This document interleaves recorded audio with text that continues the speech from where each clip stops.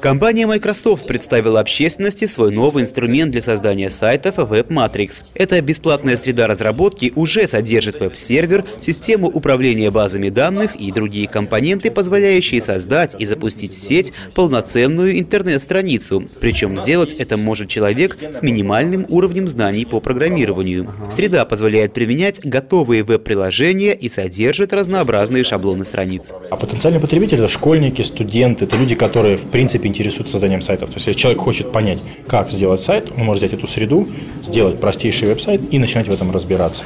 В лицее информационных технологий номер 1533 о сайтостроительстве знают не понаслышке. Программированием здесь занимаются основательно. В учебном плане стоят такие предметы, как основы HTML и CSS. Создать полноценную интернет-страницу может любой девятиклассник.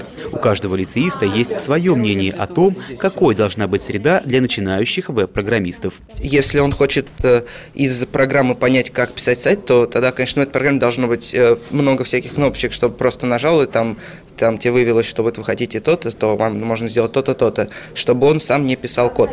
Хотелось бы надеяться, что он бы смог стать моим рабочим инструментом, а, чтобы был удобный, э, имел множество хороших э, функций.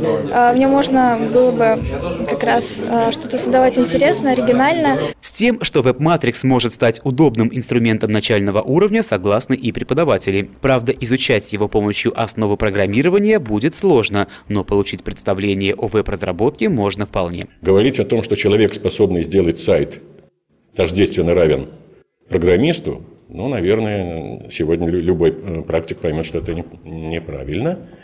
Но пройти через четкое понимание фаз разработки проекта – вот это становится главным. Веб-разработчик Аркадий Турченко считает, что в среде профессионалов WebMatrix тоже может найти свое место, но только в качестве инструмента для создания сайтов-прототипов. А любителям, если они стремятся к развитию, освоить WebMatrix не составит особого труда. Но если человек захочет быстро развиваться, он быстро упрется в определенные рамки этой программы. И дальше надо переходить на что-то более серьезное.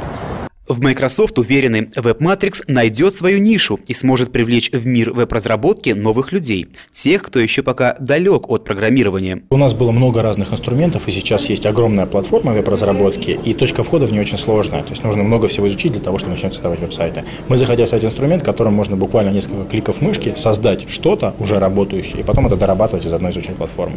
Бета-версия WebMatrix была представлена еще в июле 2010-го, за полгода до официального релиза. Но особого ажиотажа вокруг проекта нет до сих пор. Это не значит, что он не востребован, как мы только что убедились, интерес к новой среде есть, причем не только у школьников, но и у серьезных разработчиков. Так что подождем, быть может мы еще не раз услышим о веб-матриксе, а может и не услышим.